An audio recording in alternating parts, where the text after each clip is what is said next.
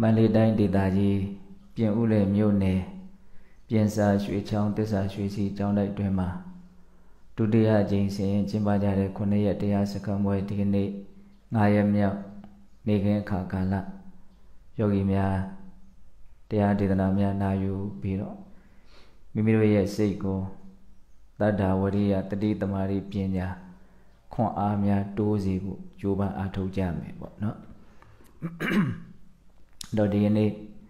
ယောဂီတို့ကိုဗတရားဟောဖို့စီစဉ်ထားလဲဆိုရင်ဓမ္မပဒပါဠိတော်အပမဒဝက်မှာမှတ်တမ်းတင်ထားတဲ့ရှင်စုလပံဝတ္ထုဆိုပြီးတော့ရှင်စုလပံကိုအကြောင်းပြုပြီးမြတ်စွာဘုရားဟောကြားတော်မူခဲ့တဲ့ဂါထာတော်လေးကိုအခြေခံပြီးတော့ဘဝမှာကိလေသာရေအရင်တို့မဖြိုဖျက်နိုင်တဲ့ အာကိုရာအစစ်ဖြစ်တဲ့ထောက်ရာတီရာမိရာခိုရာကျွန်းကိုဘယ်လိုတိဆောက်မလဲဆိုတာလေးကိုနာယူမှတ်သားကြနော်ဥဒ္ဓာနေနပမတ်ဒေနတန်ယမေနတမေနဇဒီပံကိရာထမေရာဝီယံဩဃောနာဘိကိရတိတဲ့ဥဒ္ဓာနေနလုံလဝရိယဖြင့်၎င်းအပမဒေနမမိတ်မလျော့ခြင်းတတိတရားဖြင့်၎င်း တန်ယမေနတီလဆောင်စည်းခြင်းဖြင့်၎င်းဓမေနဇမျက်စိနာနာလျာကိုစိတ်ဟုဆိုသောဣန္ဒြေ6ပါးတို့ကိုစုံမခြင်းဖြင့်၎င်းမေရာဝီကြောင်းကျိုးမြင်သည့်ပညာရှိသည်ယန္တိပအကျဉ်ရဟတဗုဒ္ဓိဟုသောကျွန်းကိုဩဃကိလေသာရေရင်တို့သည် နာဘိကိရတိမဖြိုဖျက်နိုင်တန်တိပထိုကိလေသာရေရင်တို့သည်မဖြိုဖျက်နိုင်သော အရဟတဗုဒ္ဓိဟုသောကျွန်းကိုကိရာထပြုရ၏တဲ့အတိဘယ်ကဘာပြောလို့ဆိုတော့ဘုန်းတို့ပင်လေသမုဒ္ဒရာတဲ့ရေလန်းခရီးသွားပြီဆိုလို့ရှိရင်နော်လေတို့တင်မောတို့ပျက်စီးလို့ရှိရင်ရေထဲမှာကိုယ့်အတွက်ထောက်ရတီရမရှိအန်တရအလွန်ကြီးတယ်ပေါ့နော်အဲ့ဒီအချိန်မှာအကြောင်းအားလျော်စွာဘုံဘုံတို့နော်ကျွန်းမုံမြန်ရောက်သွားမယ်ဆိုလို့ရှိရင် ဒါအသက်အန္တရာယ်စိတ်ချရပြီနော်ကိုယ့်အတွက်မိခိုရအားထားရရေပြင်ကျယ်ကြီးထဲမှာကျွန်းကလေးဟာမိခိုရအားထားရဖြစ်တယ်ပေါ့အဲ့ဒါကိုမြတ်စွာဘုရားကဥပမာပေးတာရုံဏန်တို့ရဲ့စင်ဆက်မပြတ်ဖြစ်ပေါ်ပြောင်းလဲနေတဲ့အစဉ်အတန်းကြီးကိုဒါတန်တရားလို့ခေါ်တယ်အဲ့ဒီတန်တရားဟာအလွန်မှကြောင်းပွဲဖွယ်ရာကောင်းတဲ့ပင်လယ်သမုဒ္ဒရာများနဲ့တူတယ်ပေါ့နော် ဩဃလေးပြားလို့ဆိုတဲ့ရေလှိုင်းကြီးများလည်းပဲအဲ့ဒီတန်တရားမှာတတ္တဝါတွေကိုအန္တရာယ်ပေးတဲ့အနေအထားနေနဲ့ရှိနေကြတယ်ပေါ့အဲ့ဒီတန်တရားမှာဘုံဘုံတို့မိယာခိုရာအားထားရာကျွန်းဆိုတာကိုတိဆောက်နိုင်ဖို့လိုမယ်တဲ့ဟုတ်လားအဲ့ဒီကျွန်းကအဓိကကတော့ပညာပါပဲသို့တော့အထွတ်အထိပ်အမြင်နဲ့ကြည့်မယ်ဆိုလို့ရှိရင်ကျွန်းဆိုတာ အရဟတမေညာအရဟတဖို့ညာနော်ယဟန္တာဖြစ်သွားတဲ့အနေအထားနော်သစ္စာလေးပါးထွတ်ထွင်းသိမြင်ပြီးတော့တကယ်ကိုဒုက္ခတို့ရဲ့အဆုံးကိုပြုနိုင်သွားတဲ့အနေအထားအဲ့ဒီအနေအထားဟာမိခိုရအားထားရကျွန်းပဲပေါ့အဲ့ဒီကျွန်းကိုမြတ်စွာဘုရားကျွန်းရဲ့အည်အသွေးကိုဘယ်လိုလေးဟောတော့ယံဩဃောနာဘိကိရတိနော်ဩဃဆိုတဲ့ရေလှိုင်းကြီးတွေက လွှမ်းမိုးဖြည့်စည်းခြင်းကမစွမ်းနိုင်တဲ့မဖြက်စီးနိုင်တဲ့ဖြိုးမချနိုင်တဲ့ခိုင်မာတဲ့ကျွန်း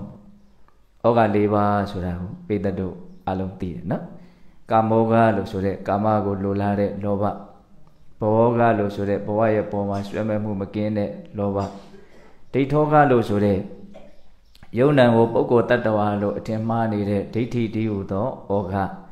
အဝိဇောဃလို့ဆိုတဲ့သစ္စာလေးပါးအမှန်တရားကိုမသိမမြင်နားမလည်ခြင်းလို့ဆိုတဲ့မောဟဟုတ်လားဩဃတရာဟောရင်းမှာကလွှမ်းကဖိတက်နှစ်မြုပ်တတ်သည့်အရရက်ပင်ရေအရင်တိဤတွင်တမူတတိသူဖြင့်ညီသူဆွဲညှိအပေထိအောင်မိမိကိန်းရာတတ္တဝါကိုလွှမ်းကဖိတက်နှစ်မြုပ်တတ်သည့်သုံးရသဘောလောဒိတ်မောကိုခေါ်လောဩကအမည်တဲ့သုံးရသဘော လောဒိတ်မောကိုလောဆိုတာဘာပြောတာတော့လောဘလောဘဆိုတာကာမောဂရဲ့ဘဝဂရဲ့ကိုရည်ညွှန်းတာကာမကိုလိုလားတောင့်တတဲ့လောဘရဲ့ဘဝကိုလိုလားတောင့်တတဲ့လောဘရဲ့လောဒိတ်ဒိတ်ဆိုတာဒိဋ္ဌိပေါ့နော်မောဆိုတာမောဟအဝိဇ္ဇာကိုပြောတာတရားကိုကောက်လို့ရှိရင်ဒီဩဃ၄ပါးသည်လောဘရဲ့ဒိဋ္ဌိရဲ့မောဟရဲ့လို့၃မျိုးပေါ့နော် အဲ့ဒီတရားတွေမဖြည့်ဆည်းနိုင်တဲ့အဲ့ဒီတရားတို့ကြောင့်ပြိုပြက်မသွားနိုင်တဲ့မိခိုရအားထားရာကျွန်းဘာကျွန်းလဲပညာတည်းဟူသောကျွန်းဘလောက်ထိမြင်မာတဲ့ပညာတော့အရဟတဖို့ပညာလို့ဒီမှာအဲ့လိုသုံးတယ်နော်အဲ့ဒီကျွန်းကိုတီဆောက်နိုင်မှဘုံဘုံတို့ကြောင်းဝဲဖွယ်ရအနေအထားတွေကနေလွတ်မြောက်မယ်ပေါ့ဒါမှရှိရင်တော့ကြောင်းဝဲဖွယ်ရအနေအထားထဲမှာပဲနေနေရဘယ်အချိန်မှာဘဝဟာပျက်စီးမလဲဆိုတာကိုဘုံဘုံတို့မ သိနိုင်ဘူးတွေးကြည့်လိုက်ရင်ရင်အေးစရာမရှိဘူးပိုက်ဆံတွေဘယ်လောက်ရှိရှိနော်ဘဝမှာဘလို့အခြေအနေမျိုးကြီးနဲ့ပဲနေရနေရတကယ်တကယ်ကအနိစ္စရဲ့လက်တွင်းမှာပဲရှိနေတာလေအချိန်မရွေးပြတ်နိုင်တဲ့အနေအထားကြီးကိုယ့်ဘဝဆိုတာကအချိန်မရွေးပြတ်နိုင်တဲ့အနေအထားကကြောင်းဘက်ဖွယ်ရကောင်းတာကတခုကိုယ့်ရဲ့စိတ်ကြီးကလည်းပဲနော်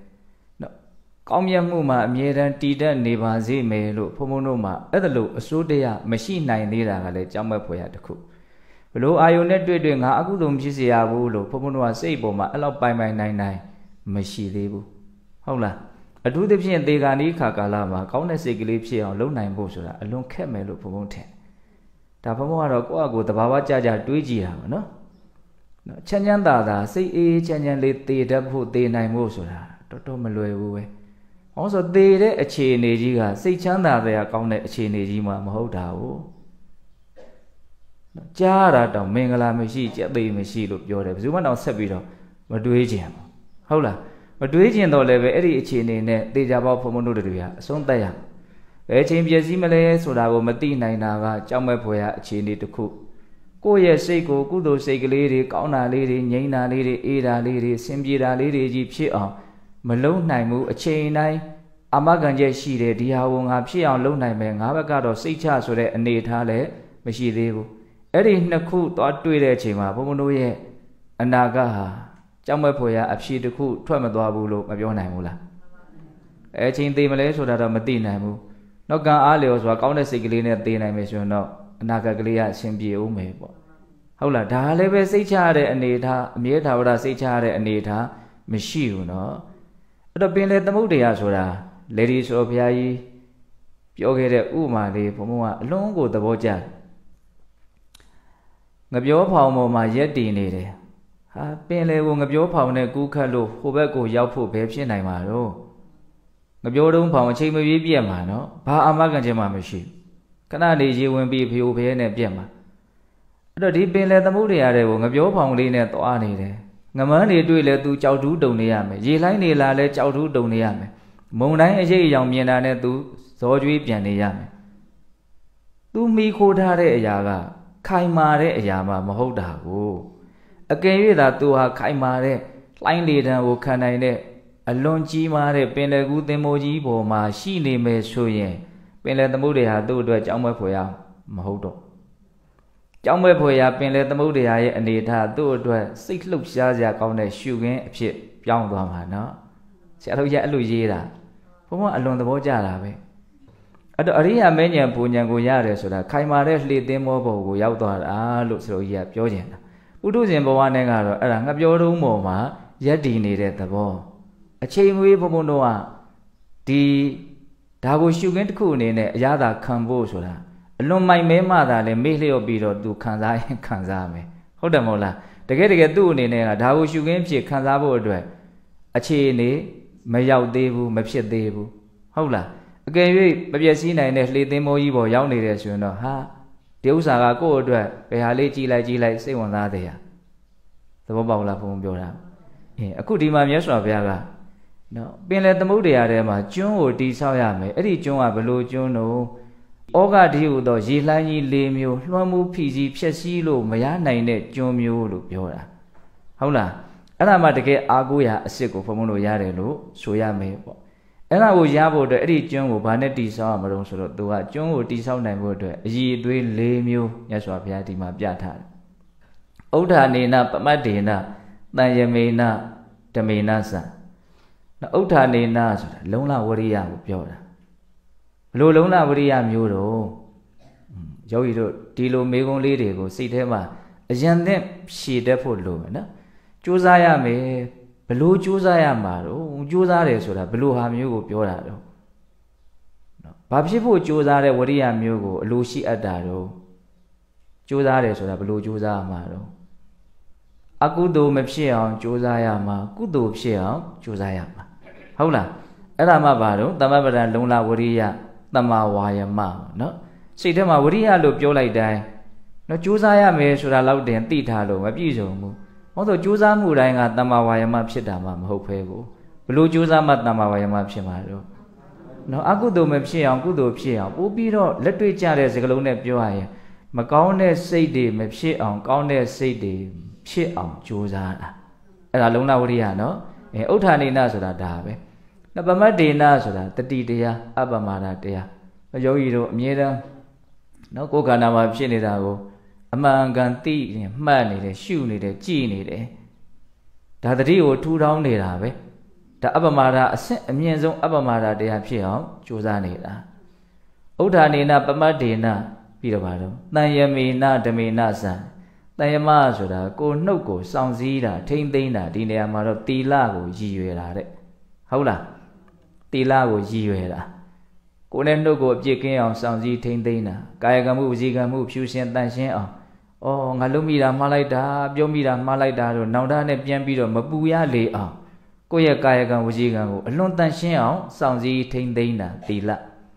အဲ့ဒီတီလကတော့သူ့ပေါ်မှာရက်တီပြီးမှကြံတာကိုလောက်ရမှာဒေသနာယသူကတတိယနေရာမှာရောက်နေပေမဲ့လို့သူကပထမနေရာမှာရှိရမယ်လို့ဘုံဘုံထင်တယ်နော် ဒီမှာတော့ဂါထာလေးကဘယ်လိုဟောတာတော့ဥဋ္ဌာနေနပမတ်ဒေနတန်ယမေနဓမေနသ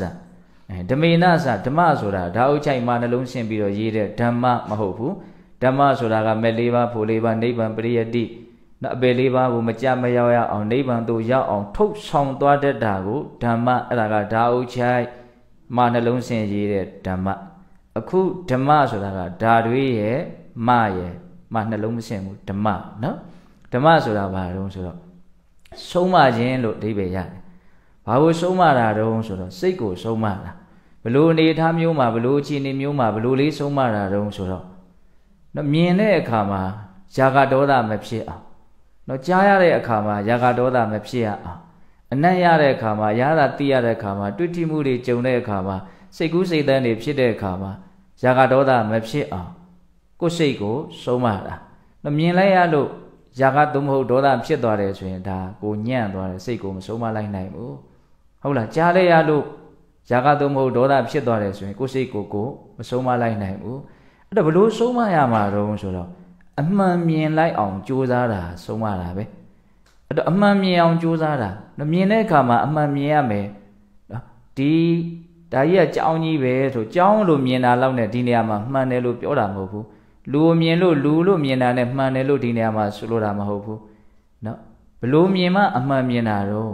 ဒါတွေကပုဂ္ဂိုလ်တ attva မဟုတ်တဲ့သဘာဝတွေဖြစ်နေတာလို့မြင်ရမယ်အခြေခံဟုတ်လားပြီးရင်ဒါတွေဟာဖန်ဆင်းလို့ဖြစ်တာမဟုတ်အကြောင်းပဲဖြစ်နေတာလည်းမဟုတ်သူကသူအကြောင်းအကျိုးဆက်ဆက်ပြီးတော့ဖြစ်ပေါ်နေတဲ့သဘာဝတွေဟုတ်လားပြီးရင်ဘယ်ထိသွားမလို့ဒါတွေဟာတည်မြဲမနေတဲ့အရာတွေမကောင်းမွန်တဲ့အရာတွေ ကိုယ်အလိုဆန္ဒအတိုင်းဘာလိုက်လျောမှုမှမရှိတဲ့သူလမ်းကြောင်းသူသွားဖြစ်နေတဲ့သဘောတွေလို့အနိစ္စဒုက္ခအနတ္တကိုမြင်မှအဲ့ဒါကိုမြင်တယ်အမှန်မြင်တယ်လို့ခေါ်တာဟုတ်လားအဲ့တော့ကိုယ်စိတ်ကိုဆုံးမတယ်ဆိုတာအဲ့ဒီအမှန်မြင်မှုနဲ့ဆုံးမအဲ့ဒီအမှန်မြင်မှုကိုဘယ်လိုနာမည်တက်မလို့ပညာနော်အဲ့ဒီပညာရှိလို့ရှိရင်စိတ်ကယာဂဒေါသမဖြစ်ဘူးပညာဖြစ်အောင်လုပ်နိုင်ရင်ယာဂဒေါသမဖြစ်ဘူးအဲ့ဒါဒီပင်လျင်ကိုကိုကိုမယိုင်းအောင်ကိုစိတ်ကလေးကိုမယိုင်းအောင် ဆုံးမလိုက်ရရောက်သွားနော်ဆွဲမဲ့သွားပြီဆိုရင်စိတ်ကရိုင်းတော့မှာဟုတ်လားမကြည်မနှက်ဖြစ်သွားပြီဆိုရင်ရိုင်းတော့မှာအဲ့ဒါကတော့ပိုးပြီးတော့ထင်ရှားတာပေါ့နော်မကြည်နှက်မှုတွေဖြစ်သွားရင် तू ကရိုင်းတော့မှာနော် तू ကအပြိုးတွေလည်းရိုင်းမယ်အလုပ်တွေလည်းရိုင်းမယ်နောက်ဆုံးတတ်တယ်ဖြတ်တယ်အဆင့်ထိရောက်သွားမှာနော်ဟုတ်လားအဲ့ဒါနဲ့ဆက်ဆက်ဆက်နေတာပေါ့နော်အဆုံးစွန်ရိုင်းတဲ့အနေထားထိရောက်အောင်သွားမှာနော်အဲ့ဒါဘုန်းတို့ယဉ်ကျေးအောင်လုပ်တယ်ဆိုတာဆုံးမလား ဘာရှိမှယဉ်ကျေးမှာတော့ယဉ်ကျေးတယ်ဆိုတာဘာတော့ယဉ်ကျေးတယ်ဆိုတာယာဂဒေါသမဖြစ်တာကိုပြောတာယာဂဒေါသကဘယ်အခြေအနေမျိုးမှမဖြစ်မှာတော့ဆိုတော့ပညာဖြစ်အောင်လုပ်နိုင်မှမဖြစ်မှာသဘောပေါက်လားဘုံဘုံပြောတာဒါကြောင့်မြင်တိုင်းကြားတိုင်းအနံ့ရတိုင်းစားတော့တိုင်းတွေးထီတိုင်းတွေးကြံတိုင်းလောဘဒေါသမဖြစ်အောင်စိတ်ကိုပညာနဲ့ဆုံးမတာကိုဓမ္မလို့ခေါ်တယ်အဲ့ဒါကိုအိန္ဒြေကိုဆုံးမခြင်းလို့စာအဲ့လိုရေးတာအိန္ဒြေဆိုတာဘာလို့အစိုးတရားရှိ မျက်စိဟာအိန္ဒြေပဲမြင်တဲ့ကိစ္စမှာသူသူအစိုးရပဲသူအကြည့်အမှုပဲနားဟာအိန္ဒြေပဲဘယ်ကိစ္စဘယ်နယ်ပယ်မှာလဲကြားတဲ့နယ်ပယ်မှာခန္ဓာကိုယ်မှာအိန္ဒြေကြီးပဲနှစ်ပါးနဲ့တိဆောက်ထားတာလို့6ပါးအာယတနာ6ပါးလို့လဲခေါ်မယ်အကြည်တဲ့6မျိုးလို့လဲခေါ်မယ်ကိုကိုကိုဘလို့တွေတိဆောက်ထားတယ်ဆိုတာသိရမှာနော်အေးအဲ့တော့ဓမ္မဆိုတာဘာတော့အိန္ဒြေကိုစောင့်စည်းတာတရားကိုကောက်တော့ပညာ တရားဘယ်နှလုံးရတော့၄လုံးဥဋ္ဌာနေနပမတ်ဒေနတန်ယမေနဓမေနသနော်ဩဃတွေမဖြစ်စည်းနိုင်လောက်အောင်ခိုင်မာတဲ့စိတ်ချရတဲ့မိယာခိုရာအားထားရာကျွန်းကိုဒီလေးမျိုးနဲ့တည်ဆောက်ရမယ်တဲ့အလွန်ကောင်းတော့ဒီကထားလေးဝရိယရဲ့တတိရဲ့သီလရဲ့ပညာရဲ့ပညာရဲ့သဘောလေးကိုနားလေအောင်ဘုံဘုံနည်းနည်းလေးအချိန်ယူရှင်းပြတာနော် အိန္ဒြေကိုဆုံးမခြင်းလို့သူကအတူချုပ်ရေးထားတာအဲ့ဒါကိုကိုယ့်အကိုတကယ်ကိုထဲထဲဝင်ဝင်သဘောပေါက်ရနော်အိန္ဒြေကိုဆုံးမတာမြင်လဲရလို့လောဘဒေါသမဖြစ်စေရဘူးကြားလဲရလို့လောဘဒေါသမဖြစ်စေရဘူးလောဘဒေါသဘာလို့မှမဖြစ်မှာတော့ပညာဖြစ်မှမဖြစ်မှာပညာကဘာတော့အမှန်သိတာအမှန်ကဘာတော့အိဋ္ဌဒုက္ခအနတ္တဒီထိသွားရမှာဒါတွေကကျွမ်းကျင်ထားရမှာနော်ဘယ်ချိန်မေးမေးနားလည်ပြီးသားဖြစ်နေရမှာဟုတ်လား အင်းဒီကထာလေးပြောနေရတာ ਨੇ ဇလန်းကပြောဖို့အများကြီးကြံသေးတယ်နော်တရားထုတ်ရတာကိုညီငွေမှာဆိုလို့ဇလန်းလေးတွေလည်းပြုံးမှပါလို့စိတ်ကကူးမိတယ်ဟုတ်လားဒီကထာလေးဟောရခြင်းရဲ့အကြောင်းခုဒီကထာကိုရှင်းပြနေရတာ ਨੇ အချိန်ကတော်တော်စားသွားပြီနော်ဒီကထာကိုမြတ်စွာဘုရားဘုစုကိုအကြောင်းပြုပြီးတော့ဟောတာဆိုတော့ရှင်စုလပန်ကိုအကြောင်းပြုပြီးတော့ဟောတာရှင်စုလပန်ဆိုတာကနော်ထူးခြားချက်တွေနဲ့သာသနာမှာနာမည်ကြီးတယ်ဗုဒ္ဓဘာသာဝင်တွေကြားဥပါတဲ့သူ့နာမည်ကို နော်ရှင်စုလပန်စုလပန္ထကစုလဆိုတာအငယ်ပေါ့သူ့ထက်သူ့အကိုရှိတယ်မဟာပန်ဆိုတာမဟာပန်ဆိုတာသူကဗမာတွေကပါဠိစကားလေးတွေကိုဗမာမှုပြုတ်ပြုတ်ပြီးတော့ရေးတာအမှန်အပြည့်စုံကပန္ထကနော်ပန္ထကဆိုတာဘာလို့ဆိုပန္ထကဆိုတာလမ်းသူတို့ညီကိုနှစ်ယောက်ကလမ်းမှာမွေးတာသူ့ရဲ့ဇက်ကြောင်းလေးတွေကစိတ်ဝင်စားတယ်ရှိတယ်သူ့အမေကအလွန်ချမ်းသာတဲ့တထေးကြီးတူရဲ့သမီးပဲ အဲ့ဒါမိဘတွေကစိတ်မချလို့ဒီသမီးလေးကိုအရွယ်ရောက်တဲ့အခါစောင့်ရှောက်ထားတယ်စိတ်မချတဲ့အတိုင်းပဲဖြစ်သွားတယ်အိမ်ကကြုံနဲ့ထွက်ပြေးတယ်နော်ပရာဇာရီလိုပဲသူကအဲ့ဒါကြောက်လန့်ပြီးတော့ပြန်မလာရဲဘူးအဲ့ဒါကိုဝင်ရလာတဲ့အခါကျတော့ကလေးမွေးရမှာအားငယ်တယ်အဲ့ဒီတော့မိဘစီသွားတာယောက်ျားမသိအောင်သွားတယ်ယောက်ျားကလည်းခေါ်မရဘူးအိန္ဒိယထုံးစံကဇက်မြင့်ဇက်နှိမ်ကြောက်เสียကောင်းတယ်ခမ်းမသိရင်တက်ပြစ်တာတွေရှိတယ်တော့ယောက်ျားကမလိုက်ရဲဘူး မလိုက်ရဲတော့မိန်းမကတော့မိဘစီသွားတာပဲဆိုတော့မကြောက်ဘူးသွားတာသွားရင်လည်းလမ်းနဲ့မွေးတာကလေးကကလေးမွေးရမှကြောက်လို့မိဘတွေသွားတာကလေးကမွေးပြီးပြီဆိုတော့ကြိုင်မသွားတော့ဘူးဆိုတော့လမ်းနဲ့ပြန်လာတာအဲ့လိုနဲ့နောက်တစ်ယောက်နောက်တစ်ယောက်လည်းအဲ့ဒီပုံစံတိုင်းမွေးတာအဲ့ဒါညီကိုနှစ်ယောက်မွေးတာမဟာဗန်စုလဗန်ဆိုတာဟုတ်လားအဲ့ဒါနဲ့ဒီကလေးလေးတွေနည်းနည်းလေးကြီးလာတဲ့အခါကျတော့ဖေရတထေးဆိုတဲ့အခါကျတော့စင်းစင်းရဲရဲမနေနိုင်ဘူး အဲ့ဒါနဲ့တိတ်တဆိတ်ရာဇဂျိုပြန်လာတာရာဇဂျိုမျိုးသူအဲ့ဒါရာဇဂျိုပြန်လာပြီးတော့အကြောင်းကြားတာပေါ့မိဘတွေစီကိုမမီးလေးနှစ်ယောက်ရနေပြီဆိုတော့ဖေကြီးကစိတ်နာတယ်อืมညီလေးတွေကိုတော့လက်ခံမယ်တဲ့ဟုတ်လားသမီးနဲ့သမက်ကိုတော့လက်မခံနိုင်ဘူးဒါပေမဲ့လို့သမီးဆိုတော့တန်ရောစင်ကလည်းမပြတ်ဘူးအဲ့ဒါနဲ့ယင်းနီးစားဖို့ရဥစ္စာပစ္စည်းအထိုက်လျောက်ပေးလိုက်တယ် မင်းတို့ကတော့ငါစီနေလို့မရဘူးဒါပေမဲ့မြေးလေးနှစ်ယောက်တော့အာစောင့်ရှောက်ထားမယ်ရှုတော့ထားတာအဲ့ဒါစုလပန်လေးကငငယ်လေးအမဟာဗန်ကနည်းနည်းလေးကြီးနေပြီအဲ့ဒါဒီတတိယမြတ်စွာဘုရားကိုအလွန်ကြီးညိုတယ်အဲ့ဒါကျောင်းတော်တရားနာသွားပြီဆိုရင်ဒီမြေးအကြီးလေးကိုအမြဲတမ်းခေါ်သွားတယ်အမြေးကြီးလေးကဘုရားဟောတဲ့တရားနဲ့အမြဲတမ်းရင်းနှီးနေတယ်ရင်းနှီးနေတော့နောက်တော့သူကဘလောက်အထိတရားတရားကောင်းအောင်ဆိုတော့ယဟန်ပြုတော့မယ်သူတထေးရသားပဲတကယ်က ဒါပေမဲ့သူ့ရဲ့ဒီတရားတရားအသိဉာဏ်ပါရမီပါတဲ့ပုံကိုယ်တွေပါပဲတကယ်ကတော့အခြေအနေရဘဝမှာကံပြည့်ချတယ်လို့ဖြစ်ရတာလေဟုတ်လားတချို့ကိစ္စတွေကကိုရွေးချယ်လို့ရတာမှမဟုတ်တာဟုတ်နော်အဲ့ဒါနဲ့အဖိုးသူယဟန်ပြုတော့မယ်ဆိုတော့ဝမ်းမြောက်ဝမ်းသာပဲတခါကြီးကလည်းသာသနာကြည်ညိုတဲ့ပုဂ္ဂိုလ်ဆိုတော့အဲ့ဒါနဲ့မဟာဗန်ကယဟန်ဖြစ်ယဟန်ဖြစ်ပြီးတကတော်တွေပါတွေသင်နောက်တော့ယဟန္တာဖြစ်တယ် ယဟန္တာဖြစ်တဲ့အခါကျတော့ဒီတရားချမ်းသာတာလည်းလောကမှာချမ်းသာဆုံးဆိုတာကို तू နားလည်သွားတယ်ယဟန္တာဖြစ်ပြီဆိုမှတော့နားလည်တာပေါ့အဲ့တော့ဒီချမ်းသာကို तू ဘယ်သူပေးခြင်းတုံးဆိုတော့သူ့ညီလေးကိုပေးခြင်းဟုတ်လားစားတဲ့အဲ့လိုလေးရေးထားတယ်ဩငါညီရှုလပံရခြင်းကတင့်တယ်ဒီချမ်းသာအဲ့ဒါနဲ့အိမ်သွားပြီးတော့အဖိုးကိုသွားပြောတယ်ဒီညီလေးကိုကိုရင်ဝတ်ပေးခြင်းတယ်ယဟန်ပြုတ်ပေးခြင်းတယ် အဲဘုံဘုံထင်ပါတယ်19 20လောက်ရောက်နေပြီမှစုလပံကအဲ့တော့တတိယကလည်းဝမ်းမြောက်ဝမ်းသာပဲပေးလိုက်တယ်အဲစာရဲကမှတ်ချက်ကလေးရေးထားသေးတယ်လူသားသူကြရောက်ပြီဆိုရင်ဒီကလေးကဘယ်သူမွေးထားတာတုံးလို့မင်းရသူသမီးကမွေးထားတာလို့ပြောရမှာ तू ရှက်တယ်တဲ့တတိယကအဲ့ဒါကြောင့်မလို့ကလေးတွေဘုန်းကြီးဝတ်မယ်ဆိုသွားဝတ်သွားပြီးအေးတာပဲသူကလည်းအဲ့လိုလဲတွက်တယ်တဲ့ဟုတ်လားနော်အဲ့ဒါနဲ့ဆူလဘန်ကကျောင်းတော်ရောက်လာ ရောက်တဲ့အခါကျတော့ဒီအကိုကြီးကနော်ညီကိုလွန်ချစ်တာပေါ့ဒါလေးယဟန္တာဆိုတော့အဲ့ဒီတန်ရောစင်တွေတော့မရှိတော့ပါဘူးအဲ့ဒီမှာရောက်တဲ့အခါကျတော့သူ့ကိုစာသင်ပေးဂါထာလေးတစ်ပုဒ်စမ်းပြီးတော့သင်ပေးတယ်အဲ့ဒီဂါထာကဘုရားရှိခိုးဂါထာလေးဗရမယထာကောကနတံသူကန္တံပါတောတိယဖုံလမဝိဒကန္တံအင်္ဂိရတံပတ္တဝိရောစမာနတပန္တမာရိစမိဝန္တလိခေတဲ့ဂါထာနည်းနည်းတော့ခက်တယ် အတိပ္ပယ်လေးကအလွန်ကောင်းပါတယ်မြတ်စွာဘုရားကိုဘရုံမာကြာပန်းနဲ့ဥပမာပေးပြီးတော့နော်ရှ िख ိုးတာလားကောကနတံကောကနတအမည်ရှိသောဗရမံဘရုံမာကြာတိပါတော်နတဲ့အခါ၌အဝိတကန္တအနတ်မကင်းသည်ဖြစ်၍သူကန္တကောင်းသောအနတ်ရှိသည်ဖြစ်၍ဖုံလံပွင့်ခြင်းသို့ရောက်သည့်တိယယထာဖြစ်တဲ့ကဲ့သို့အန္တလိခေကောင်းငယ်၌ဝိရောသမဏံတင့်တယ်ခြင်းရှိသော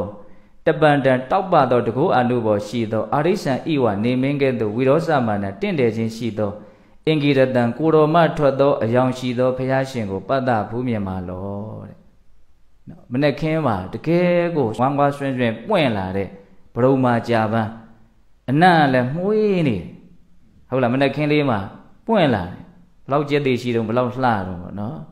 အဲ့ဒီဘရုံမာကြာပန်းလေးအနံ့နဲ့ပြည့်စုံတဲ့နော်အစင်းနဲ့ပြည့်စုံတဲ့ကြာပန်းလေးပွင့်ခြင်းသို့ရောက်သွားသလိုတဲ့ကောင်းငင်ကနေမင်းကြီးလို့တင့်တယ်တဲ့ နော်မြတ်စွာဘုရားကိုမြတ်စွာဘုရားဟိုတော့အင်္ဂိရတန်ဆိုပါသေးတယ်ဟုတ်လားကိုတော်မှရောင်ထွက်တယ်နော်မြတ်စွာဘုရားဟိုရောင်ကြီးတော်ထွက်အောင်ဖန်တီးရင်ရောင်ကြီးတော်ထွက်တယ်ဟိုပေးတဲ့တို့ကြားဦးပါလေဟိုပဋ္ဌာန်းတရားကိုဆင်ခြင်သုံးသပ်တဲ့အခါမှာခန္ဓာကိုယ်ကဘာဖြစ်တယ်ရောင်ကြီးတော်တွေထွက်လာတယ်နော်အဲ့တော့မြတ်စွာဘုရားရဲ့စိတ်တော်ဆိုတာအဖြူရှင်ဆုံးအတန်ရှင်းဆုံးဆိုတဲ့အတွက်ကြောင့်စိတ်ကဖြူရှင်တောက်ပတဲ့အတွက်ကြောင့်ခန္ဓာကိုယ်ကလည်းပဲအယောင်ထွက်လာတာလို့ အဲ့ဒီဥစ္စာလေးကိုတဘာဝကြကြနားလေရမယ်ဟုတ်လားအဲ့တော့ဘုန်းဘုန်းတို့လူတွေမှာလည်းပဲတကယ်ကအယောင်ဆိုတာရှိတယ်အရေးအယောင်ဆိုတာအသားမဲတာဖြူတာနဲ့မဆိုင်ဘူးဟုတ်လားအဲ့ဒါစိတ်ကိုမေတ္တာဓာတ်ကရုဏာဓာတ်ထုံမွမ်းထားနိုင်အောင်ကြိုးစားအဲ့ဒါအေးချမ်းတယ်လို့ခံစားရတဲ့တစ်ဖက်လူရဲ့မျက်စိထဲမှာအေးချမ်းတယ်ဆိုတဲ့ပုံတရံ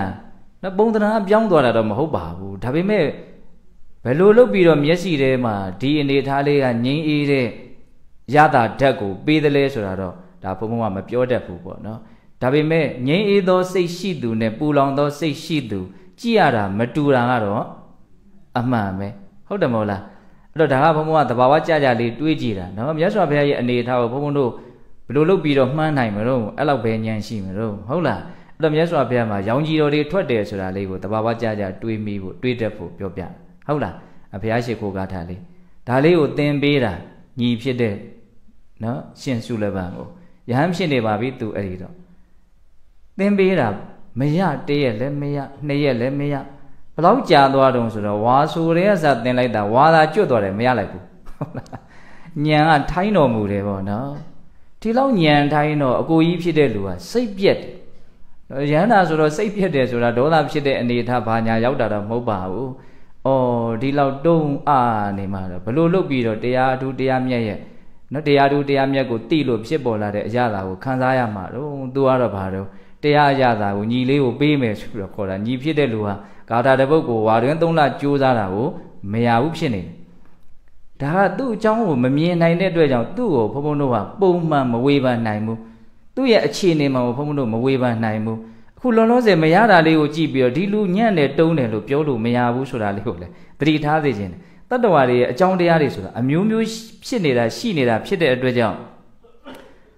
အခြေအနေမှန်ကိုအကဲဖြတ်နိုင်ဖို့ဝေဖန်သုံးသပ်နိုင်ဖို့ခက်လိမ့်မယ်လို့ပြောခြင်းတယ်။တော့ဘာလို့ဒီလိုတုံးနေရတာတော့ထိုင်းနေရတာတော့ဒါပုံမှန်မဟုတ်ဘူး။ပုံမှန်မဟုတ်အောင်ဘယ်ရာကသူ့ကိုနှောက်ယှက်နေတာတော့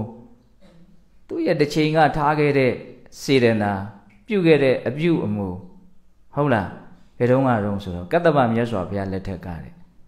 အလွန်ညံထက်မြက်တဲ့ယဟန်တစ်ပါးစာတတ်ပေတတ်ပဲဟုတ်လားညံထက်တဲ့အခါကျတော့သင်လိုက်ရင်လွယ်လွယ်လေးတက်တိတာတွေမြင်တာတွေကများအဲဒါလည်းမမာနကိုဖြစ်စေတဲ့အကြောင်းတရားတစ်မျိုးပဲနော်မမာနကိုဖြစ်စေတယ်အများစုကလွယ်လွယ်ကူကူမသိကြမမြင်ကြတာများတော့လွယ်လွယ်ကူကူမသိမမြင်တဲ့လူတွေကြားထဲမှာ လွယ်လွယ်ကူကူသိနေတယ်မြင်နေတယ်ဆိုတော့ငါသူများတဲ့တာတယ်သူများနဲ့ငါနဲ့မတူဘူးဆိုတဲ့အမြင်လေးကကိမ္မမသိကိမ့်ကိမ့်ကိမ့်ကိမ့်ပြီးတော့ဘာကိုဖြစ်စေတဲ့တော့မာမာနကိုဖြစ်စေတဲ့တဲ့နော်အဲ့ဒါညံထိုင်းတဲ့ဥစဉ်လေးတစ်ပါးကိုပြည့်ရပြုတယ်တဲ့မပြည့်ရရလဲဘယ်လောက်ထိပြုလိုက်လဲတော့မသိဘူးစားတဲ့တော့အသေးစိတ်တော့ရေးမထားဘူးဘယ်လောက်ထိ तू ကလှောင်လိုက်တယ်လဲပြောင်းလိုက်တယ်လဲတော့မသိဘူးဟိုဥစဉ်လေးကစားကုန်မတင်ရဲတော့ရှက်သွားတာညွန့်သွားတာနော် အဲ့ဒါလိုတစ်ဖက်သားကိုထိခိုက်အောင်ထိသူ့ရဲ့မာမာနနော်သူတစ်ချိန်လုံးကဖြစ်ခဲ့တဲ့အနေအထားအဲ့တော့ဒီလောလောဆယ်ဖြစ်နေတာလေးတွေဟိုမှန်မှန်ကန်ကန်ဝေဖန်တတ်ဖို့ဆိုလို့ရှိရင်နော်အတိတ်ကာလကအနေအထားတွေကိုဘုံဘုံတို့မျက်ွယ်ပြုထားလို့မရဘူးဟုတ်လားအဲဒါလေးတွေကတရားနာရင်နဲ့နော်တွေးတရမယ်လောကရဲ့သဘောလေးတွေဟုတ်လားတဘာဝတရားရဲ့အနေအထားလေးတွေဘုံတို့တွေးတတ်ဖို့လိုတယ်နော် အဲ့ဒီလိုမျိုးသူများပေါ်မှာနော်မမာနနဲ့ပြည့်ရပြုတ်ခဲ့လို့ဒီဘဝမှာသူစာကြက်တာကြက်လို့မရ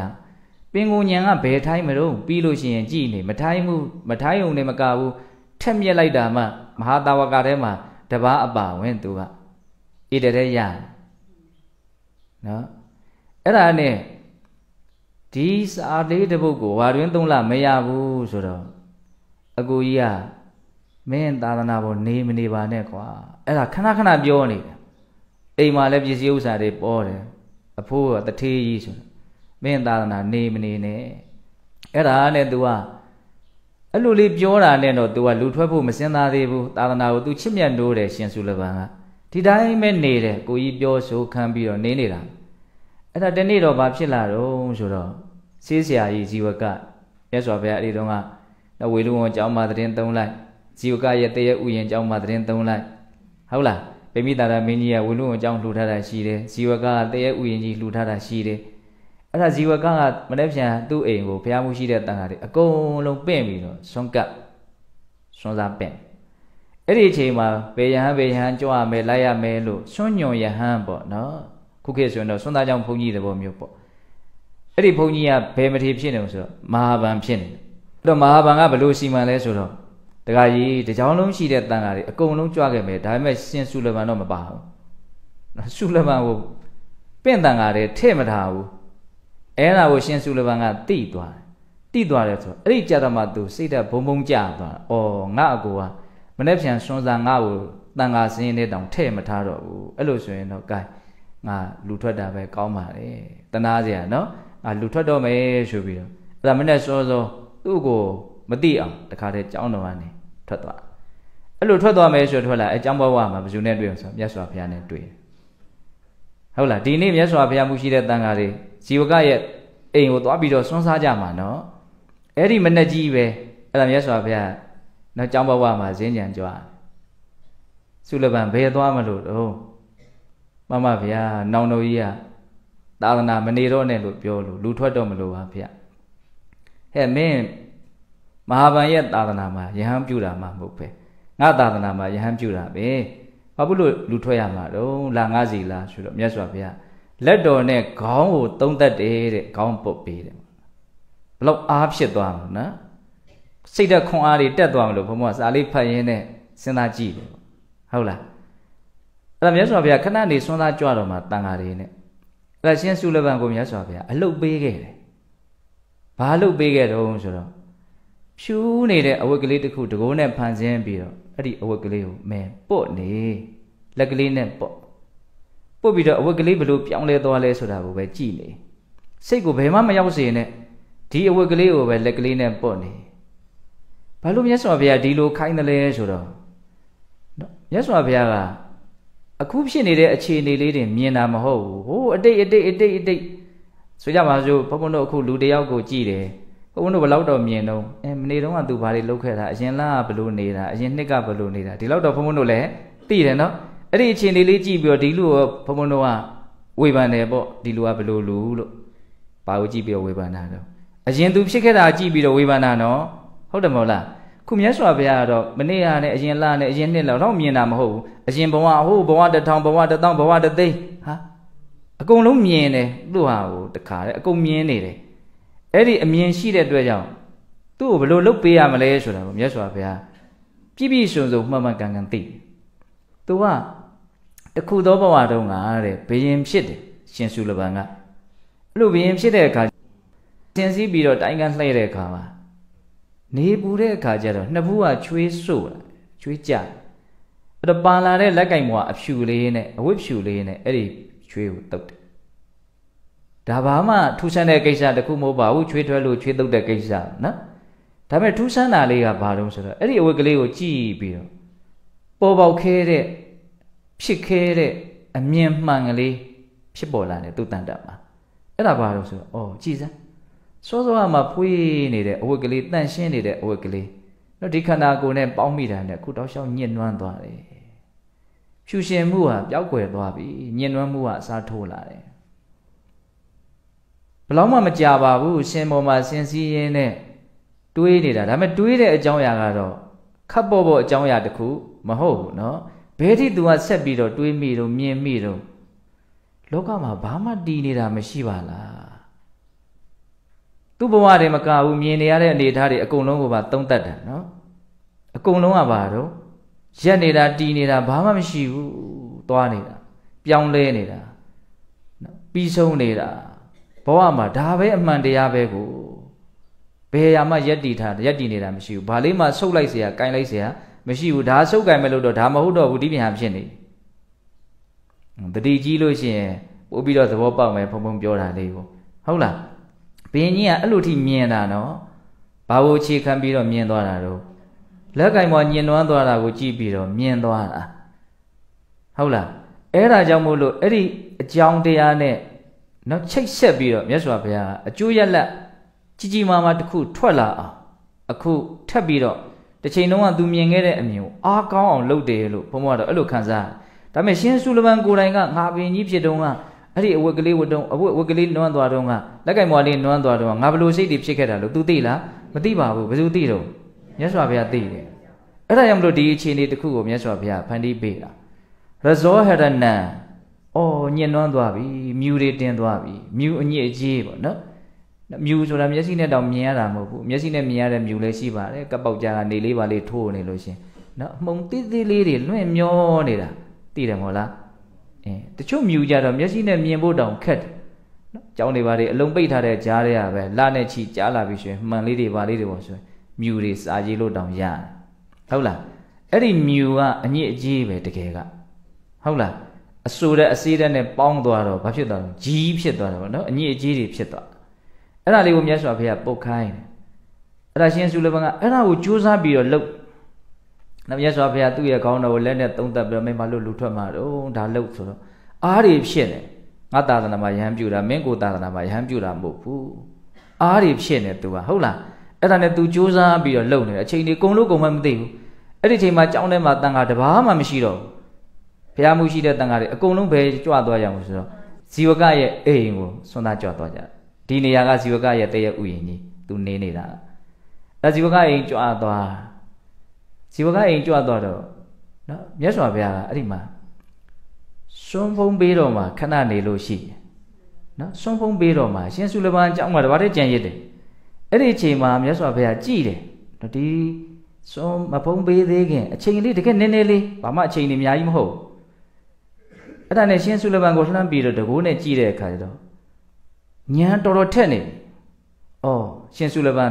ဟိုအကြောင်းအကျိုးတွေအကုန်လုံးချိတ်ဆက်မိသွားပြီပေါ့နော်။တစ်ချိန်လုံးကဖြစ်ခဲ့တဲ့အတွေးအမြင်မှန်တွေကလာပြီးတော့အကြောင်းအထောက်ကူပြုတ်နေတယ်။အဲ့ဒီမှာသူ့ရဲ့ညာကထက်အော်အကုန်လုံးပြောင်းလဲနေတာပဲ။ဒါပေမဲ့သူ့စိတ်ထဲမှာသူ့ခန္ဓာရဲ့ဒီပျက်စီးနေတဲ့သဘောပြောင်းလဲဖောက်ပြန်နေတဲ့သဘောအဲ့ဒါဘောကိုအများကြီးသူမသုံးသပ်မိနိုင်သေးဘူးဒါပေမဲ့ညာကတော့တော်တော်ထက်နေပြီ လောကကြီးတစ်ခုလုံးကပြောင်းလဲနေတာပဲဆိုတဲ့အမြင်ဟုတ်လားအဲ့ဒီအချိန်မှာမြတ်စွာဘုရားတကိုးနဲ့လှမ်းပြီးတော့ရောင်ကြီးတော်လွတ်ပြီးတော့တရားဟောတယ်တဲ့မြတ်စွာဘုရားရဲ့တကယ်ခန္ဓာကိုယ်ကတော့ဒါဇီဝကအိမ်မှာရှိနေတယ်ဒါပေမဲ့ဟိုမှာကိုပွားသဘောမျိုးပေါ့ရောင်ကြီးတော်နဲ့ဒါမြတ်စွာဘုရားဖန်ဆင်းပြီးတော့သူ့ကိုတရားဟောတယ်ကာထာသုံးဖို့ခေါ်တယ်ရာဂောရဇောနသပနာရိနုဥဇတိရာဂတေတံဓိဝဆနရဇောတိ ဧတံရဇံဝိပ္ပစိတဝါနဘေခဝဝိရန္တိတေဝိကတရဇတသာသနေတဲ့နော်ရဇောမြူဆိုတာရာဂောဆွဲမဲ့မှုတည်းတဲ့လောကမှာဆွဲမဲ့မှုဆိုတာမြူပဲအညစ်အကြေးပဲတဲ့ဟောသူအညစ်အကြေးနဲ့ပတ်သက်ပြီးတော့သူ့ရဲ့ဉာဏ်ကအမှန်မြင်ဖို့လိုနေလို့မြတ်စွာဘုရားဖြည့်ပေးတာလို့ဆိုနိုင်တယ်နော်ဟိုမှာအဝတ်ကလေးညင့်နေတယ်ဟုတ်လားဒါမြင်နေတယ်အဲ့ဒါမြတ်စွာဘုရားကဘာပြောတော့ရာဂောရဇောဆွဲမဲ့မှုဟာအညစ်အကြေးပဲတဲ့ စိတ်ရဲ့အညစ်အကြေးနာသပါဏရိနုဥစတိပဂရိမြူကိုသာအညစ်အကြေးလို့ပြောတာမဟုတ်ဘူးတဲ့ရာဂတေတံဒီဝဆနရဇောတိနော်ရဇောမြူဆိုတဲ့ဧတံဤနာမည်ဟာရာဂတရာဂရဲ့အဓိဝဆနနာမည်ပဲထပ်ပြောတာနော်မြူဆိုတာယာဂရဲ့နာမည်ပဲတဲ့ပဂရိမြူတွေကိုအညစ်အကြေးလို့ပြောတာမဟုတ်ယာဂကိုသာအညစ်အကြေးလို့ပြောတာ ဧတံရဇံဝိပိစိတဝနာဘေခဝဝိရန္တိတေဝိကတရဇတတာရဏီနော်ဝိကတရဇတယာကကင်းတော်မူတဲ့မြတ်စွာဘုရားရဲ့တာသနေအဆုံးမဟောဒီသာသနာတော်မြတ်ကြီးမှာမြတ်စွာဘုရားကိုပုံဖော်တာကိုတောင်းယာကတိဟုသောမြူအညစ်အကြေးကင်းတဲ့မြတ်စွာဘုရားလို့အဲ့လိုပုံဖော်တာနော်မြတ်စွာဘုရားယာကတိဟုသောအညစ်အကြေးကင်းတော်မူတဲ့မြတ်စွာဘုရားရဲ့တာသနာမှာနော်အသိဉာဏ်ရှိတဲ့ယဟန်တွေဟာ ဧတံရဇံအဲ့ဒီယာကဆိုတဲ့ဆွဲမဲ့မှုအညစ်အကြေးကိုဝိပိစိတ်တော်နာပယ်စွန့်ပြီးတော့ဖယ်ခွာပြီးတော့ဝိရန္တိနေနေကြတယ်တဲ့ပြန်ပြီးတော့အစာဆုံးအတိပ္ပယ်လေးပြောကြည့်မယ်နော်ယာကဆိုတာမြူအညစ်အကြေးပဲပဂရိမြူကိုသာအညစ်အကြေးလို့ပြောတာမဟုတ်ဘူးအညစ်အကြေးဆိုတာယာကရဲ့နာမည်ဟုတ်လားယာကတည်းဟူသောအညစ်အကြေးကင်းတော်မူတဲ့မြတ်စွာဘုရားရဲ့သာသနာပါ ဉာဏ်ရှိတဲ့ပုဂ္ဂိုလ်တွေကယာကဆိုတဲ့အညစ်အကြေးကိုဖယ်ခွာပြီးတော့ချမ်းချမ်းသာသာနေနေကြတယ်တဲ့နားမလဲကြမရှိဘူးနော်နောက်ဒုတိယကာထာကဒေါသကိုမြူးလို့ပြောတာဒေါသကိုအညစ်အကြေးလို့ပြောတာနော်ဒေါသောရဇောနာသပနာရိနုဥစ္စတိဒေါသတေတံဒီဝဆနံရဇောတိ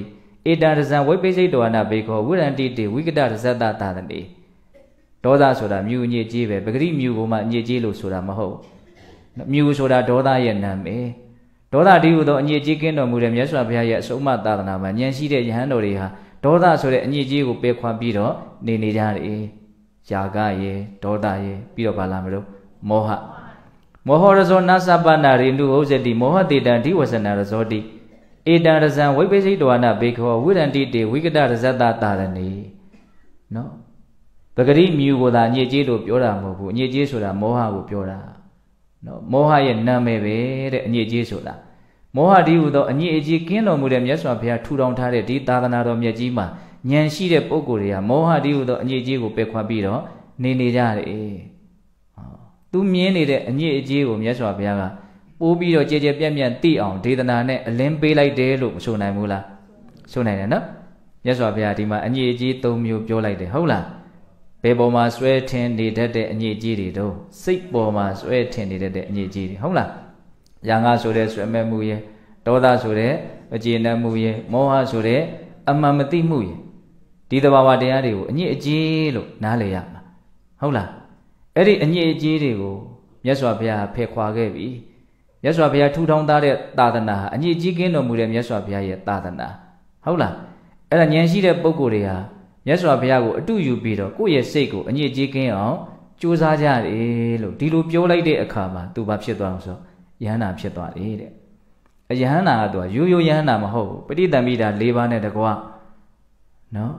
ပိဋကတ်သုံးပုံကနှုတ်မှာအကုန်လာတယ်တဲ့တခါတည်းပြီးစီးသွားတာနော်တရားတွေရဲ့နိယာမစမ်းကြယ်ပုံကိုလည်းပဲတတိထားကြည့်ခဲ့ပေါ့နော်စောသောဂါထာတဲ့ပုဂ္ဂို လ်ဟောတွင်သုံးလကြက်မှတ်တာမရလောက်အောင်ညံထိုင်းတော်မူတဲ့အရှင်မြတ်ဟာအခုရမယ့်ရတော့လေအကုန်လုံးမဖြစ်သွားတော့ပြည့်စုံသွားပိဋကတ်သုံးပုံအကုန်လုံးပြည့်စုံအကုန်ရတယ်အကုန်သိတယ်အကုန်မြင်တယ်အဲ့လိုဖြစ်သွားတယ်ဒီမြတ်စွာဘုရားရဲ့ဒေသနာတွေနဲ့ပတ်သက်ပြီးတော့ဟုတ်လားတော့သူယဟန္တာဖြစ်သွားပြီဆိုတာကိုမြတ်စွာဘုရားသိတယ်သိတဲ့အချိန်မှာမြတ်စွာဘုရားစွန့်ဖုံးပေးတာတပိတ်နဲ့ဖုံးပေးမှာပါဟုတ်လားအဲ့ဒါစွန့်ကတ်တော့မယ်ဆိုတော့မြတ်စွာဘုရားတပိတ်တော်ကိုလက်နဲ့အုပ်ထားတယ်တဲ့ ဘယ်เจ้าမှာဘယ်အကြောင်းကြောင့်လို့မြတ်စွာဘုရားလို့မေးတဲ့အခါเจ้าမှာယဟန်တစ်ပါးရှိသေးတယ်အဲ့လိုပြောတဲ့အခါကျတော့မဟာဗန်ကမြတ်စွာဘုရားเจ้าမှာယဟန်တစ်ပါးမှမရှိတော့ပါဘူးဘုရားဟဲ့စုလပန်ရှိသေးတယ်သူညီလူထွက်သွားပြီထင်းနေတာမဟာဗန်ကဟုတ်လားစုလပန်ရှိသေးတယ်ဆိုတော့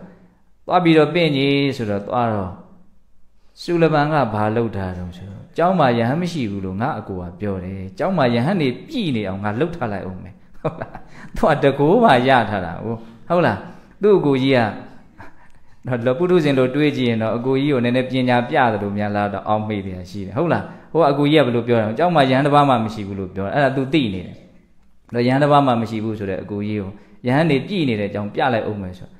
ယဟန်တစ်ထောင်နဲ့ तू ဖန်ဆင်းထားတယ်ဟုတ်လားပုံသဏ္ဍာန်မျိုးမျိုးနဲ့တယ်စမ်းကြယ်နော်သင်္ကန်းလျှော်တဲ့ယဟန်သင်္ကန်းလျှော်တယ်စားကြည့်တဲ့ယဟန်ကကြည့်မယ်ဟုတ်လား စမျက်စိလဲတဲ့ယဟန်ကလဲမယ်ဟာကျောင်းမှာယဟန်မရှိဘူးလို့ပြောတယ်မြတ်စွာဘုရားလည်းစုလပန်ရှိတယ်လို့ပြောတယ်ယဟန်တွေကလည်းအများကြီးပဲပြည့်နေတယ်လာတဲ့လူကလန့်တောင်သွားတယ်အဲ့ဒါနဲ့ဘာမှမပြောရဘဲနဲ့ပြန်သွားရောဟဲ့ယဟန်တွေမတွေ့ခဲ့ဘူးလားဆိုယဟန်ကတထောင်လောက်တောင်ရှိနေတယ်တကြောင်လုံးယဟန်တွေကြီးပဲအဲ့အဲ့ဒီယဟန်တွေအကုန်လုံးမဟုတ်ဘူးစုလပန်ကိုသွားပင့်ခဲ့စုလပန်ကိုပင့်ခဲ့အဲ့ဒါနဲ့တစ်ခေါက်သွားပြန်တယ်သူ လက်ရှင်စုလပန်ကြွပါဗျာဆိုတထောင်သောယဟန်တွေကငါစုလပန်ငါစုလပန်ဆိုအကုန်လုံးဟာတခါတည်းစုလပန်ကြီးလာပြောနေသူကတကယ်လည်းစုလပန်နေကြီးပဲကိုအဲ့ဒီမှာသူတခါမပင့်ခဲ့နိုင်မြန်ဘူးနော်မျက်စိလဲသွားဘယ်ယဟန်ပင့်ခဲ့ရမှမသိအဲ့ဒါနဲ့မြတ်စွာဘုရားရှင်စုလပန်ကြွတော်မူပါဆိုတော့ယဟန်တိုင်းကငါစုလပန်ပြောနေတယ်ဘယ်လိုလုပ်ရမလို့ပထမဦးဆုံးပြောတဲ့ယဟန်ရဲ့လက်ကိုသာမင်းဆွဲလိုက်ကျန်တဲ့ယဟန်တွေအကုန်ပျောက်သွားလိမ့်မယ်လို့ပြောတယ်တဲ့ဟုတ်လားအဲ့ဒါနဲ့နောက်တစ်ခေါက်သွားရတယ်သုံးခေါက်သွားမှ तू ပင့်လို့ရရနော်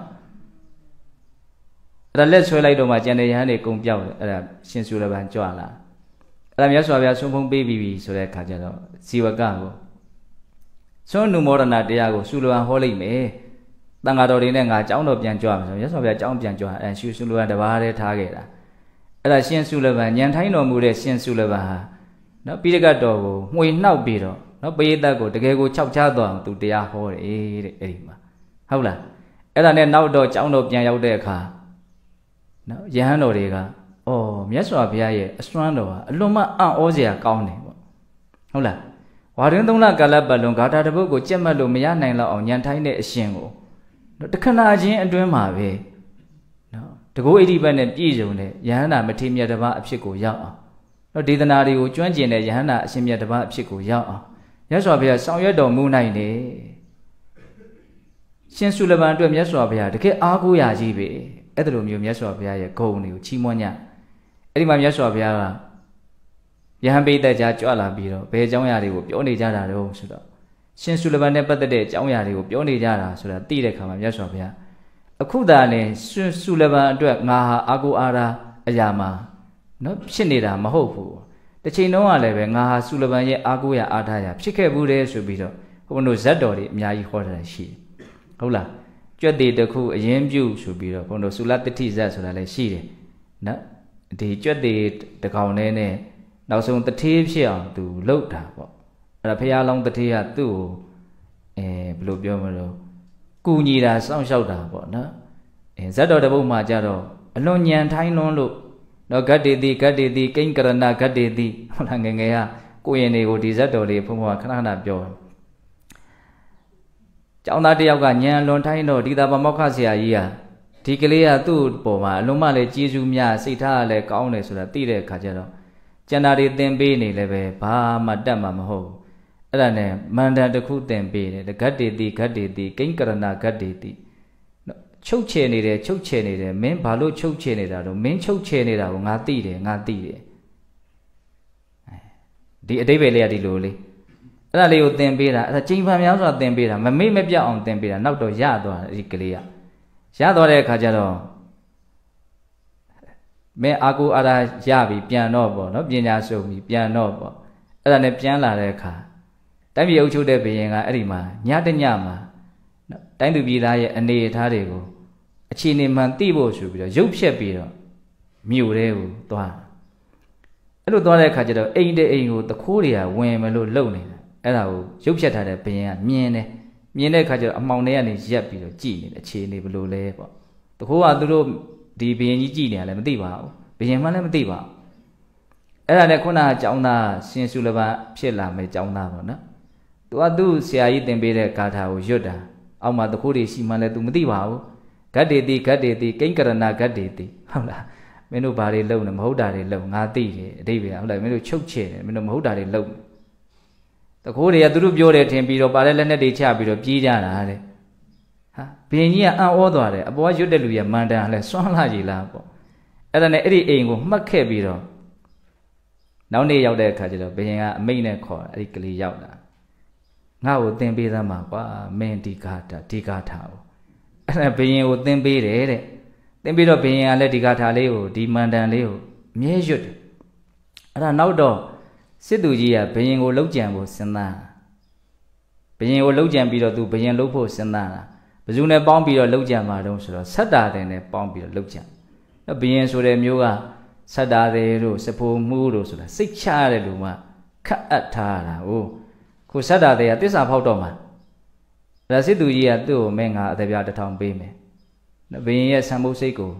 ပြုရင်တဲ့အခါမှာအဲ့ဒီတင်တုံးသားနဲ့လေဘင်းကိုတစ်ချက်တည်းပြတ်အောင်သာဖြတ် မင်းကိုအသက်ပြတစ်ထောင်ပေးမယ်ဆို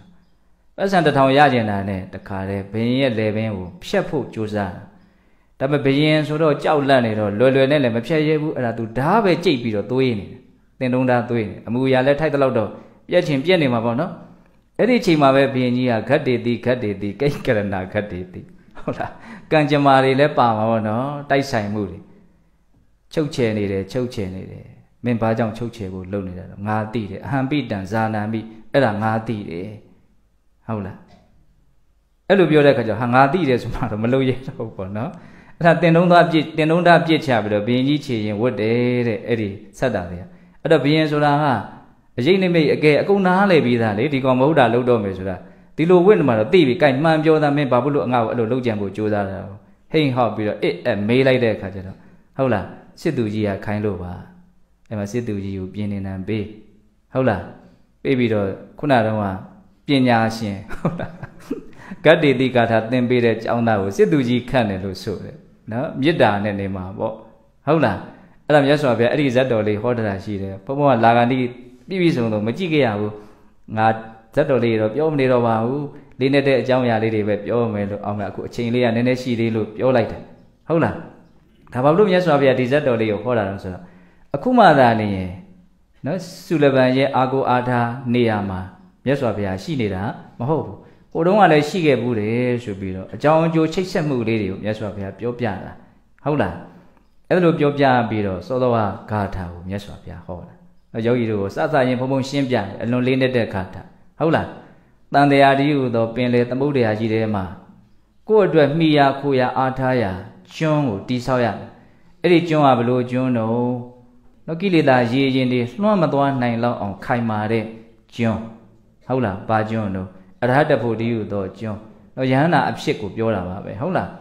နော်လောကရဲ့အကြောင်းကိုတကယ်ကိုတစ္ဆာလေးပါနော်တရားသိမြင်အဆင့်အမြင့်ဆုံးဉာဏ်ပညာရတဲ့အဆင့်ထိရောက်အောင်နော်လုံနိုင်တာကိုဒါကျွန်းကိုတိဆောက်နိုင်တယ်လို့ပြောတယ်နော်အဲ့ဒီကျွန်းကိုဘုံဘုံတို့ကအည်သွေး၄မျိုးနဲ့တိဆောက်ကြရမယ်ပေါ့အည်သေး၄မျိုးကဘာတော့ ဥဋ္ဌာနေနပမတ်ဒေနတန်ယမေနဓမေနသဒီပံကိရိရာထမေတာဝီယံဩဃောနာဘိကိရတိဟုတ်လားဥဋ္ဌာနေနပမတ်ဒေနတန်ယမေနဓမေနသဟုတ်လားဥဋ္ဌာနာဆိုတာထကြွလုံလဝရိယကြိုးစားရမယ်ကြိုးစားရမယ်ဘလို့ကြိုးစားရမှာတော့အကုသိုလ်မဖြစ်အောင်ကုသိုလ်ဖြစ်အောင်တဲ့တဲ့ပြောရရင်မကောင်းတဲ့စိတ်မဖြစ်အောင်ကောင်းတဲ့စိတ်ဖြစ်အောင် အစဉ်အမြဲကြိုးစားအထောက်ရမယ်နော်အဲ့လိုကြိုးစားအထောက်တဲ့နေရာမှာတကယ်တကယ်လက်တွေကသတိနဲ့လောက်ရမှာပါပဲအဲ့ဒီသတိကိုလည်းပဲအမြဲမပြတ်ဘုံဘုံတို့တွေကအောက်မေ့အမှတ်ရရမယ်အပမာဒတရားအပမာဒဆိုတာမမေ့မလျော့မပေါ့မဆဒီလိုဘာသာပြန်တာနော်မမေ့မလျော့မပေါ့မဆဟုတ်လားအလွန်ပြည့်စုံတဲ့ဘာသာပြန်ချက်ပဲအပမာဒရဲ့အတိတ်ပဲတေကိုကောက်လိုက်ရင်ဘာရမလို့တတိဟုတ်လားဝရိယရဲ့တတိရဲ့ တန်ယမေနဓမေနသတန်ယမဆိုတာဘာတော့တီလလူဆိုတာနောက်ကျောင်းအေးဖို့လိုတယ်မဟုတ်တာလှုပ်ထားတယ်မဟုတ်တာပြောထားတယ်ဆိုလို့ရှိရင်မြင့်မြတ်တဲ့ဖြူရှင်တန်ရှင်းတဲ့လုပ်ငန်းစဉ်ကိုလုပ်တော့မယ်ဆိုလို့ရှိရင်နော်စိတ်ကကိုမဟုတ်တာလှုပ်တာပြောတာတွေကတဖန်ပြန်ပြီးတော့စိတ်ထဲမှာထင်လာမြင်လာပြီးတော့မငြိမ်မသက်တွေဖြစ်တတ်တယ်နော်သီလမရှိရင်တမာတိဖြစ်ဖို့ခရင်တယ်ဆိုတာကိုပြောတာဟုတ်လား ဒါကြောင့်မလို့ကျွန်းကိုတိဆောက်တော့မယ်ဆိုလို့ရှိရင်ဘာပေါ်မှာယက်တီရမှာတော့တီလပေါ်မှာယက်တီရမယ်ဒါကြောင့်တန်ယမဆိုတာထည့်ထားတာဟုတ်လားဝရိယရဲ့တတိရဲ့တီလရဲ့ပြီးတော့ပါတော့ဓမ္မတဲ့ဓမ္မဆိုတာပညာနော်ပညာဆိုတာအိဋ္ဌဒုက္ခအနတ္တကိုသိတာဝိပဿနာလို့အထုတ်နေတဲ့ပုံကိုယ်တွေအတွက်အဲ့ဒီလိုနားလည်ထားရပုဂ္ဂိုလ်တ attva တွေဖြစ်နေတာမဟုတ်ဘူးတဘာဝတရားတွေဖြစ်နေတာဖန်ဆင်းလို့ဖြစ်နေတာမဟုတ်ဘူးအကြောင်းပဲဖြစ်နေတာမဟုတ်ဘူး အကြောင်းအားလျော်ဆိုတာအကြောင်းအကျိုးဆက်ဆက်ပြီးတော့ဖြစ်နေတာဒီနှစ်ခုကိုအခြေခံပြီးတော့ဖြစ်ပေါ်လာတိုင်းလာတိုင်းသောတဘာဝတရားတွေဟာပြီးဆုံးပြောက်ွယ်လိုက်နေတဲ့တဘာဝတွေကြီးပဲလို့အနိစ္စကိုသိတာအဲ့ဒါဘာခေါ်တော့ပညာအဲ့ဒီပညာဖြင့်ဘာကိုဆုံးမမှာတော့စိတ်ကိုဆုံးမရမှာစိတ်ကိုပညာနဲ့ဆုံးမလိုက်တဲ့အခါမှာသူတို့ကပညာရှိလာတယ်အမှန်သိလာတယ်ဆိုရင်စိတ်ဟာရိုင်းဆိုင်မှုစိတ်သုံးသွားတယ်ပေါ့ရိုင်းဆိုင်တယ်ဆိုတာဘာတော့ ယာကဒေါသဖြစ်တာကိုပြောတာနော်ဆွဲမဲ့เสียမဟုတ်တဲ့သဘာဝတရားကိုဆွဲမဲ့เสียလို့မောဟကလှည့်စားလိုက်တဲ့ခါမှာဆွဲမဲ့သွားမကျင်တတ်เสียမဟုတ်တဲ့သဘာဝတရားကိုမကျင်တတ်เสียတွေပါလို့မောဟကလှည့်စားလိုက်တဲ့ခါမှာဒေါသနဲ့ဘုံဘုံတို့ရဲ့စိတ်ဟာရိုင်းသွားတယ်လောဘဒေါသမောဟဖြစ်တာကိုရိုင်းတယ်လို့ပြောတာနော်အခြေခံကဘယ်သူကရိုင်းခြင်းမှာအရင်အမြစ်အခြေခံရိုင်းစေတတ်တဲ့တရားလဲလို့မေးရင်မောဟဟုတ်တယ်မို့လားမောဟရဲ့လှည့်စားမှုကြောင့် ဆွဲမဲ့မှုတွေဖြစ်ကြရတာမောဟရဲ့လှည့်စားမှုအမှန်မသိမှုကြောင့်ဒေါသတွေဖြစ်ကြအဲ့ဒီမှာရိုင်းညအဲ့ဒီလိုမရိုင်းအောင်ပညာနဲ့ဆုံးမရတယ်ဘယ်ခြေနေမှာလှမ်းလှမ်းပြီးတော့ဆုံးမရမှာတော့မြင်တိုင်းကြားတိုင်းအနံ့ရတိုင်းစားတော့တိုင်းတွေးထိတိုင်းတွေးကြံတိုင်းအလွန်ပြည့်စုံတယ်နော်ဒီဒေသနာလေးဟုတ်လားဓမ္မဆိုတဲ့စကားလုံးလေးတစ်လုံးကိုကောင်းကောင်းနားလည်မယ်ဆိုလို့ရှိရင်ကိုလိုရမယ်မြင့်မြတ်တဲ့လုပ်ငန်းစဉ်ကိုအများကြီးသဘောပေါက်သွားမယ်ဟုတ်လားတတိကလေးထားပြီးတော့နေ တတိထားနေလို့ရှိရင်တဘာဝတရားတွေရဲ့အပေါ်ကိုတတိထားနေတဲ့အရာတွေရဲ့အမှန်ကိုသိလာမှာပဲဒါတဘာဝတရားတက်တက်ဖြစ်ပေါ်ပြောင်းလဲနေတဲ့အရာဟုတ်လားမတည်မြဲတဲ့အရာဒီလိုသိနေမယ်ဆိုလို့ရှိရင်အဲ့ဒီသိနေတဲ့အရာရဲ့ပုံမှာဆွဲမဲ့မှုဖြစ်နိုင်မလားမကျေနပ်မှုကဖြစ်နိုင်မလားမဖြစ်နိုင်ဘူးဟုတ်လားအဲ့ဒါကိုဘုန်းဘုန်းတို့ကဘယ်အခြေအနေတွေမှာလောက်ရမှာတော့မြင်တိုင်းကြားတိုင်းနားရတိုင်းစားတော့တိုင်းတွေးထိတိုင်းတွေးကြံတိုင်းနော်အလွန်ပြည့်စုံတယ်နော် အဲ့ဒီမြင်တာကြားတာနားရတာစားတော့တာတွေးထိတာတွေးကြံတာဆိုတာဒီအကြည်တဲ့6ပါးနဲ့အာယုံ6ပါးနဲ့ပေါင်းပြီးလို့ဖြစ်လာတဲ့ကိစ္စဟုတ်လားအဲ့ဒီအကြည်တဲ့6ပါးကိုပဲဘာလို့သုံးတော့အိန္ဒြေလို့သုံးတယ်ဒါကြောင့်အိန္ဒြေကိုဆုံးမခြင်းလို့ဓမ္မဆိုတဲ့စကားလုံးလေးကိုအဲ့လိုဘာသာပြန်တယ်နော်အိန္ဒြေကိုဆုံးမတယ်ဆိုတာဘာလဲဆိုတာလေးကိုအသေးစိတ်ယောဂီတို့ကိုနော်မှန်မှန်ကန်ကန်မြင်ဖို့ဒါဘုံဘုံပြောပြတာဟုတ်လားဒါကြောင့်နော်လောဘဒေါသမောဟကိလေသာတရားတွေဩဃတရားတွေ လွှမ်းမိုးဖြစ်စည်းလို့မရတဲ့ခိုင်မာတဲ့ကျွန်းကိုဝရိယရဲ့တတိရဲ့ဝရိယရဲ့ပညာဆိုတဲ့ဓမ္မရဲ့ဒီတဘာဝတရား၄မျိုးနဲ့ဘာလို့ကြမလို့တိဆောက်ကြရမယ်အဲ့လိုတိဆောက်နိုင်မယ်ဆိုလို့ရှိရင်ဘုံဘုံတို့အတွက်ပင်လေသမုဒ္ဒရာကြီးဟာအပင်လေကူသင်္ဘောကြီးပေါ်ရှိနေတဲ့လူတွေကြောက်เสียမဟုတ်ဘူးပေါ့ဟုတ်လားမခိုင်မာတဲ့ငပြောတုံးလေးပေါ်ပဲနေရမယ်ဆိုရင်တော့ဘာလာလာလန့်နေရမှာပဲအခုကျွတ်တို့ရဲ့ခြေတွေကဘလို့နေထားမျိုးတော့ နော်ကြောက်နေရတယ်လန့်နေရတယ်တွေးလိုက်ရင်စိတ်မအေးတွေကအနေထားမျိုးမှာပဲရှိနေသေးတာနော်ဟုတ်လားအဲ့ဒါကိုဘုံဘုံတို့ပမှန်ကန်ကန်တွေးတော်သိမြင်ပြီးတော့ဒါရှင်ဆုလဗန်ရဲ့အကြောင်းအရာအထုပ္ပတ္တိနဲ့ဆက်ဆက်ပြီးတော့ဖြစ်ပေါ်လာတဲ့တွေးเสียမြင်เสียသိเสียဓမ္မဒေသနာလေးတွေကိုဘုံဘုံတို့တရားတစ်ပုဒ်အနေနဲ့ပြောပါတယ်ဟုတ်လားအဲ့တော့ရှင်စုလဘရဲ့အကြောင်းကိုဒီကနေ့နာယူကြည်ညိုခဲ့ကြရတယ်နော်ရှင်စုလဘရဲ့အကြောင်းကိုနာယူရင်းနဲ့ကိုယ့်ရဲ့စိတ်ထဲမှာ